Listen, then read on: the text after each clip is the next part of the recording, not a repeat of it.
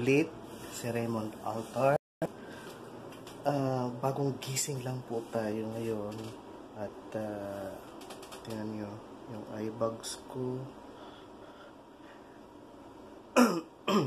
May konting ubo po ako ngayon kasi nagbabago na po ang klima dito sa sa Saudi. Ay, sipon at saka ubo ang ano ngayon sa akin. Kaya kagabi po eh nagpa-medical na po ako at uh, nabigyan po ako ng mga gamot. uh, ngayon po, alas 6.30 na po ng umaga, punta tayo ng Mesol at uh, kakain tayo.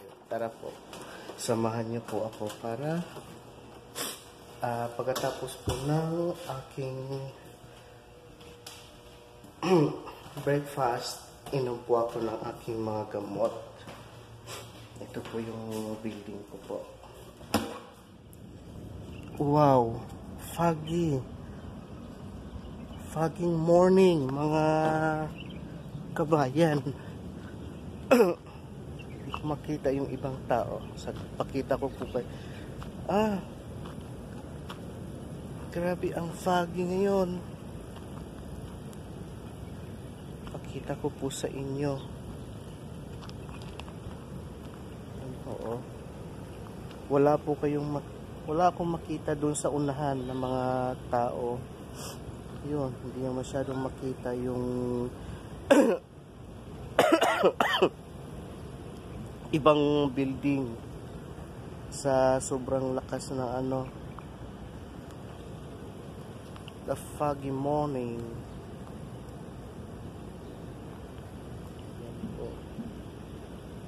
tara ho samahan niyo po ako magpunta sa Max Hall. Pero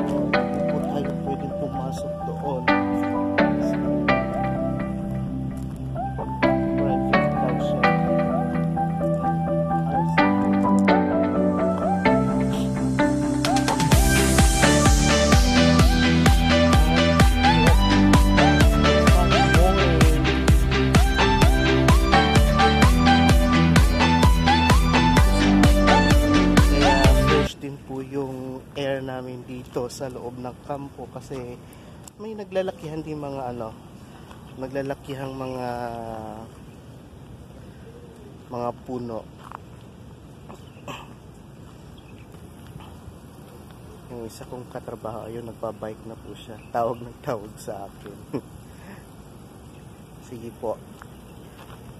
Medyo madilim. Natuluan na po ako ng ah, tubig galing sa mga puno.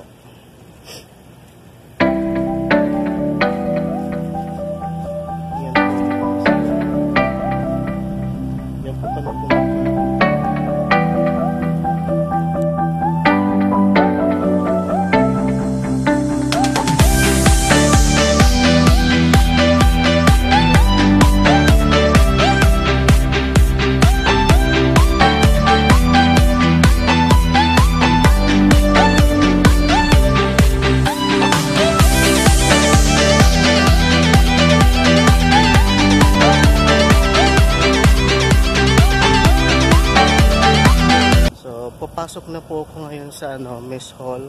Ah, hindi ko na po ito makukunan kaya hanggang dito na lang po. Magandang morning ulit.